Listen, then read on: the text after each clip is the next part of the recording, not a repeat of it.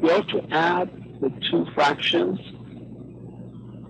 To do so, you would have to convert the first fraction to which of the following equivalent form.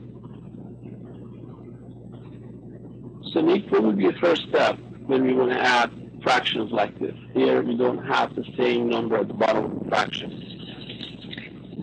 Find the LCD.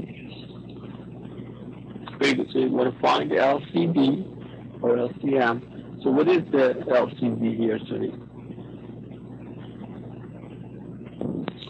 I think it's um, x times x minus 1 times x plus 2.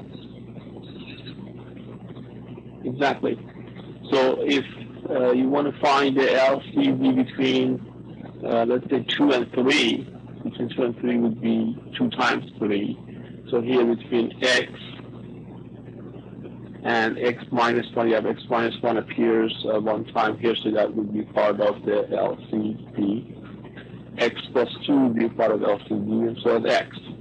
So the product of these three terms would be your LCD. So in order to add these two, you have to make these two terms the bottom of the fraction the same as LCD. So Ryan, what do I what do I have to multiply the first fraction with to make him look like LCD?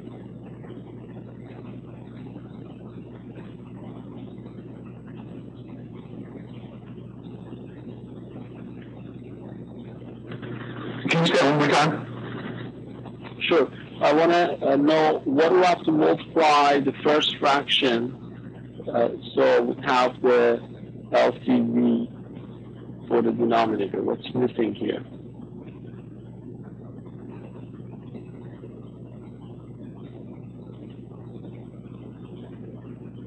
The x plus 2 in the denominator? denominator? Yeah, very good, because uh, we already have the x here. We have uh, x minus 1 here. So what's missing here is x plus 2. So I have to multiply the first fraction with x plus 2. So I would have the same denominator, denominator as LCD. Uh, so here the question is, uh, to do this, to add these two fractions,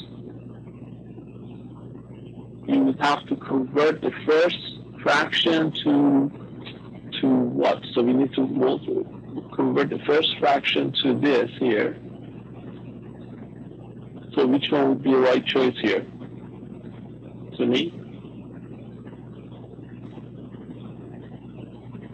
I'm sorry, what was the question again? So which one of these would be a right choice? A, B, C, D, or E?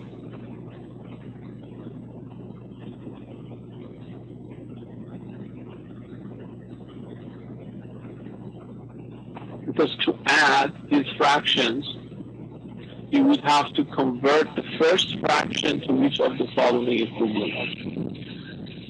How might limit be? Right, because the first fraction turns into 5x times x plus 2. Let's uh, go ahead and uh, see what we need to do uh, with the second fraction if we were going to really add these two. Uh, what do we have to multiply the second fraction with? Uh, here I have 6 minus x over x minus 1 times x plus 2. Okay. Uh, so Nick, can you tell me what do we have to multiply the second fraction with in order to have the same LCD or LCM? Um, x. Very good. You have to multiply the second fraction with x over x. So now we have the same LCD here, so I can add or subtract them if I wanted to add or subtract.